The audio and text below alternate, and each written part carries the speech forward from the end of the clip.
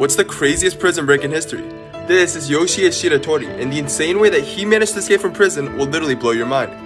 Yoshie actually escaped from prison four times during his life. But after he escaped twice, he was sent to Abashiri prison, a maximum security prison that was reserved only for the worst criminals in Japan. The conditions there were absolutely terrible and inhumane, and no one had ever escaped from there before.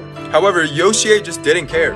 In fact, the very first thing he said to the guards when he got to the prison was, There's no point putting handcuffs on me, I will always break free. This angered the guards, so they basically just made Yoshie's entire cell escape proof. They first placed solid iron cuffs on Yoshie's ankles and his wrists. These cuffs weighed 20 kilograms each and would take a specialist two hours to take off. He would have to wear these at all times, and they made him barely able to walk and stand. As if that wasn't enough, his entire cell was reinforced with steel fixtures, and any openings to the outside world were too small for his body to fit through.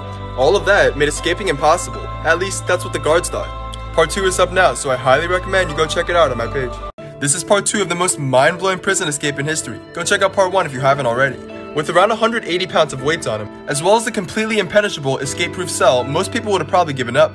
But not Yoshie Shiratori, because he already had a plan. Every day, he'd be given a small portion of miso soup for his meal. And every single day, Yoshie would save a little bit of the soup and not eat it. Instead, he would rub the soup on the bolts and screws of his cuffs, as well as the bolts and screws on the window of his door. He knew that the salt in the soup would eventually cause the iron on the bolts and screws to rust, making them weak and easier to break off. Sure enough, after many months of dabbing soup on the cuffs, they were weak enough to break off. And soon later, the bars on the window door were also weak enough to be broken off. But the window was still way too small for Yoshie to fit through. However, what the guards didn't know was that Yoshie could literally dislocate any of his joints at will. And by doing that, he was able to squeeze his body through the very tiny space and then break out of a window and escape the prison.